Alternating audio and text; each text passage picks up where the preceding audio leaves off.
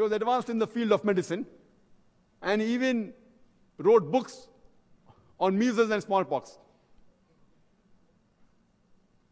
When we read medicine, we know that Ali ibn Abbas, he wrote 20 volumes on practice and theory of medicine.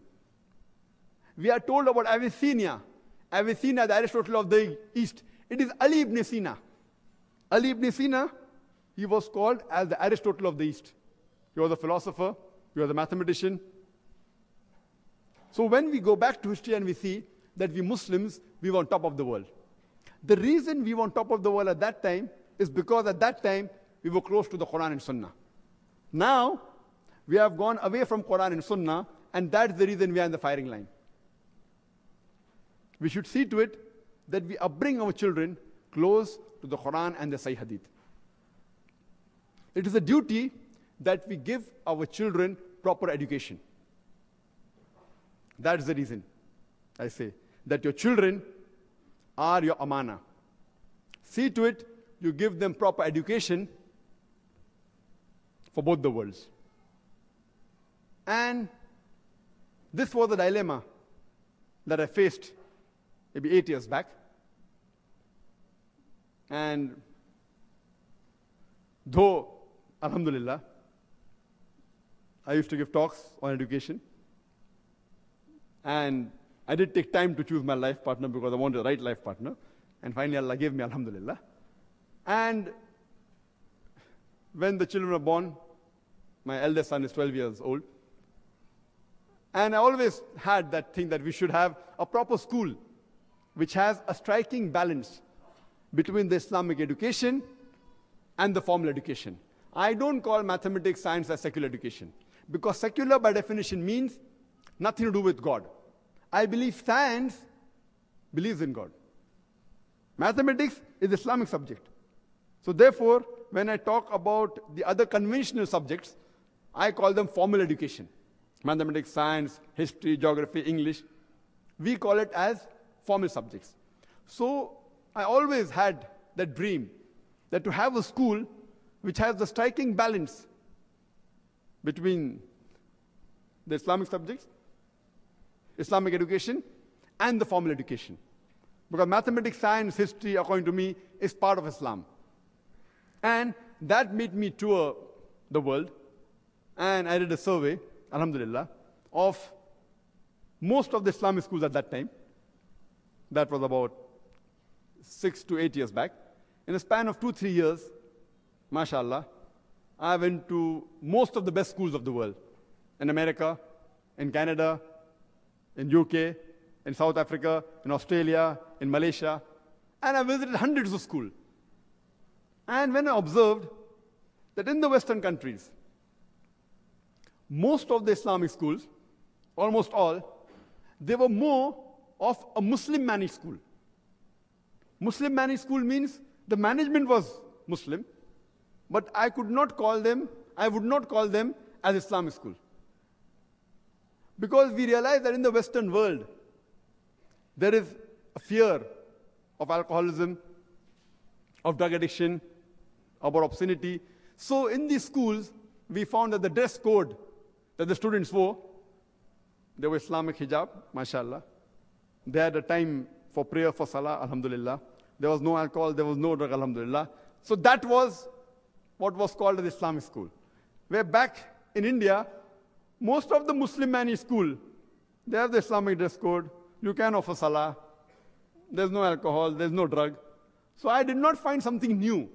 But Alhamdulillah, considering the Western country, where drug addiction is common, alcoholism is common, obscenity is common, it is an achievement which I was happy. But what I came to search for, that when our children go to school, they should get the best of knowledge, I could not find any of the schools. What we wanted that we have now the Muslim um, Ummah rather divided into two types of education. One type of education, when we have secular education, they acquire the so-called secular education, which are called a formal education. They acquire knowledge of mathematics, science, history, geography, but they are far away from the deen. On the other hand, when we go to our madrasas, which teach about Quran, Hadith, Sharia fiqh. Alhamdulillah, may Allah give them reward. But they are unaware of mathematics, science, history, geography. So the thing is we wanted a balance between the two. To have the best of both. Which, when we visited most of the schools that I visited, now the thing is changing. In the past six years, I've realized that some schools have become slightly closer, alhamdulillah, to the concept that I have. But most of the schools, they may be having maybe three periods a week on Islam, or maybe one period a day. Maximum I came across was two periods a day on Islam. And what was the main objective that a child, when he passes from school, he should have the knowledge of Quran, Hadith, Sharia, fiqh, and science, etc. That I could not find.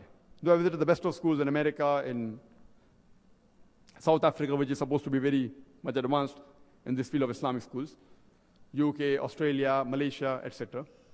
So that we thought that let's make an effort.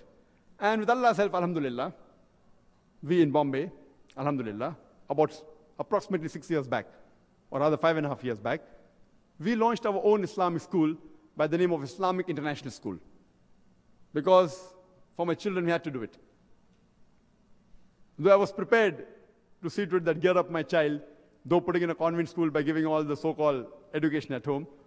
But then we thought that we should make a sample school. And alhamdulillah, summa alhamdulillah, we ventured with this project in Bombay, and Allah helped us. And with Allah's support, we launched the school. And alhamdulillah, from day one, the response that we received from the people of Bombay, from the Muslims of Bombay, was tremendous, mashallah. The response was such that though the school was absolutely new, we hardly publicized it. We decided to start the school, there was only three weeks publicity, mashallah. But immediately when the school was launched, the amount of response we got was phenomenal. And it was overwhelming that ministers, they phoned our school to see to it that some of the friends got admission to the school. It was good, mashallah. You will hardly find a minister phoning a madrasa and telling that, you know, I want a seat in your madrasa. We find that in the convent school. In India, most of the convent school, the ministers phone and they try and use the influence. But alhamdulillah, we are very strict as far as, far as admission criteria is concerned. We are very strict with the guidelines. And unless a person fulfills our guidelines, let him be a minister's son also, we won't give admission, alhamdulillah. The difference that is there, that we appreciated that the movement that was started by many of the philanthropists and educationists throughout the world, it was a good movement. At least they are giving them an environment of Islam. So I was really happy that in the Western countries, whether it be USA, UK, there were schools in which a child could at least practice Islam. But in the school that we launched, we had a different system we had, that I wanted a striking balance that when a child passes the 10th standard, he should become at least an average alim when he passes from Darul Uloom. As well as be able to compete with the best of convent schools in that city. That was the aim. And with that target, we started the schools. And we did many unconventional things, which people told it's not possible. But alhamdulillah, with Allah's help, we did it. The timing of a school is quite long. It starts from 8 o'clock right up to 5 o'clock. For nursery, it is less. We started school from nursery, from the age of 3. And the first year we had nursery, junior KG, senior KG, and first standard, only four classes, only four grades.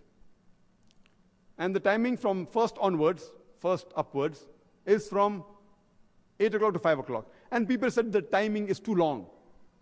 Students won't be able to take it. But alhamdulillah, we divide the day into 12 periods, each of 35 minutes. On average, two periods every day is for extracurricular activities martial arts, whether it be taekwondo, judo,